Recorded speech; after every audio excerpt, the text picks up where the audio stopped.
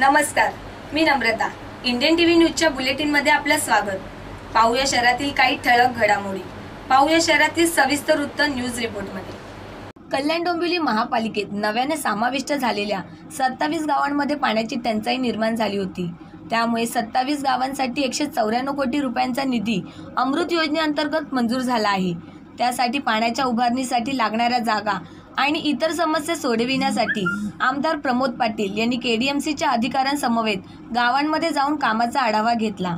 यावेळी गावांमध्ये तब्बल अठ्ठावीस पाण्याच्या टाक्या आणि चौदा सब टाक्या उभारल्या जाणार आहेत. यासाठी लागणाऱ्या जागांची अडचण निर्माण होऊ नये म्हणून यासाठी अधिकारी खाजगी विकासक जागा मालक यांचा आमदार पाटील यांनी समन्वय घालून दिला आहे. यावेळी उपस्थित असलेल्या ग्रामस्थांनी इतर समस्या सोडविण्यासाठी ग्रामस्थांकडून प्रशासनाला योग्य ते सहकार्य केले जाईल असे सांगितले. तर खाजगी विकासक जागा मालकांनी देखील योग्य सहकार्य केडीएमसीच्या अधिकाऱ्यांना केले जाईल असे आमदार पाटील यांना सांगितले. Kalyan ग्रामीणमधील Ajde Sonarpada Dombivli M I D C Bhopar Deslepada Usarghar Kole आणि कट्टाई या गावांमध्ये जागेची पाहणी करत योजनेचा आढावा घेतला आहे. व उर्वरित गावांमध्ये पाहणी दौरा देखील लवकरच केला जाणार असल्याचे आमदार पाटील यांनी सांगितले. येत्या दोन वर्षात सत्तावीस गावांमध्ये ही योजना कार्यान्वित होणार असून कल्याण डोंबिवलीमधील सत्तावीस गावांना ह्या योजनेअंतर्गत एकशे पाच एम एल टी पाणी मिळणार आहे. त्यामुळे सत्तावीस गावांचा पाण्याचा प्रश्न मिटणार आहे असे के डी एम सीचे अधिकारी राजू पाठक आणि विजय पाटील यांनी सांगितले. तर जोपर्यंत ही योजना पूर्णपणे कार्यान्वित होत नाही तोपर्यंत केडीएमसीच्या अधिकाऱ्यांच्या मार्गदर्शनाखाली गावाला टँकरद्वारे पाणी पुरवठा करता येईल का? याचा सुद्धा आढावा घेतला असल्याचे प्रमोद पाटील यांनी सांगितले.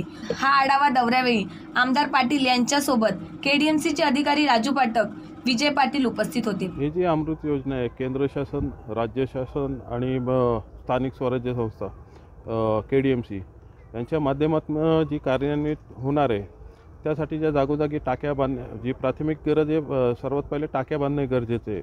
आणि त्या पुढे त्यांचं नेटवर्किंग होणार आहे पाईपलाईनचं तर या टाक्यांसंबंधित ज्या जागा कुठे कुठे आहेत कुठे काही अडचणी आहेत काही जागा कलेक्टर लँड म्हणजे गुरचरणीवर आहेत काही प्रायव्हेट जागा आहेत तर अशा जागांचा आम्ही त्या जा स्पॉटवर जाऊन सर्वे करतो आहे तिथे काय अडचण असेल समजा काही प्रायव्हेट जागा आहेत तिथल्या प- जागा मालकांशी आम्ही तिथल्या ते फोनवर बोलून त्यांच्या एन ओ सीसाठी त्यांना तयार करतो आहे बरेचसे सगळे तयार पण झालेत. ही योजना जर दोन वर्षात पूर्ण करायची असेल तर ह्या प्राथमिक गरजा ज्या आपल्याला जागा वगैरे आहेत त्या लवकरात लवकर ताब्यात घेणे गरजेचे आहेत. त्यानंतर ती योजना कार्यान्वित होईल.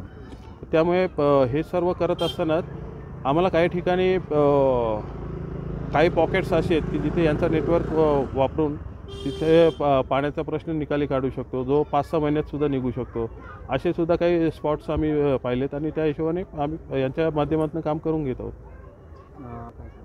तेच सांगितलं ना की प काय काय ठिकाणी समजा प यांचा नेटवर्क असेल जो प जिथे के डी एम सीचा जुना नेटवर्क आहे तिथे प यांचा नेटवर्क वापरून आपल्याला काय करता येईल का? सोबत आमचे के डी एम सीचे पाणी खात्याचे प पाटील साहेब पण आहेत. फाटक साहेब या योजनेचं प सर्व देखरेख करत आहेत तर त्यांच्या मार्गदर्शनाखाली त्यांच्या सूचना घेऊन इथे काय करता येईल? कुठे पाण्याचा पाण्याचं प्रेशर वाढवायचं असेल? कुठे समजा अजिबात पाणी नाही आहे तर तिथे टँकर वगैरेची व्यवस्था करण्याचं काय आम्हाला करता येईल का? व ही योजना करत असतानाच आम्ही इकडच्या एकंदरीत पाण्याची परिस्थितीचा आढावा घेत आहोत.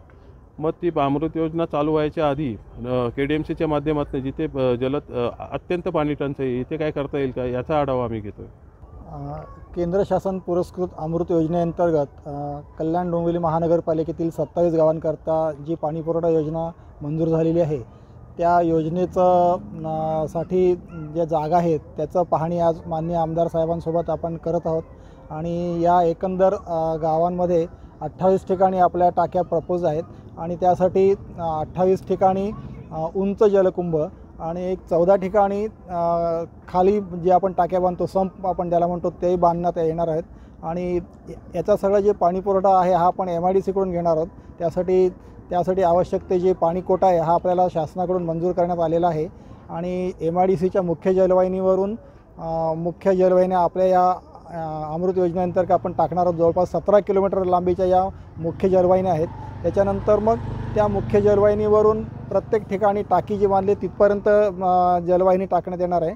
आणि मग पंपिंग मशिनरीने खालच्या टाकीतून जे पाणी आहे संपमधून आपण उंच जलकुंभामध्ये घेऊन उंच जलकुंभातून पाणी आपण प्रत्येक गावांमध्ये वितरित करण्यात आव करण्यात येणार आहे. आणि साधारण यासाठी दोन वर्षाचा कालावधी या प्रोजेक्टकरता देण्यात आलेला आहे. आणि एल सी इन्फ्रास्ट्रक्चर यांना हे काम देण्यात आलेलं असून त्यांना वर्क ऑर्डर देण्यात आलेली आहे.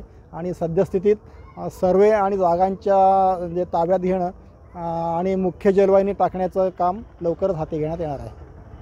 Bureau report Indian TV news. तर या होत्या इंडियन टीव्ही न्यूज. तुम्हाला आमच्याशी संपर्क साधायचा असल्यास स्क्रीनवर दिलेल्या क्रमांकावर संपर्क साधू शकता. Nine three two zero four two zero four two zero. नमस्कार.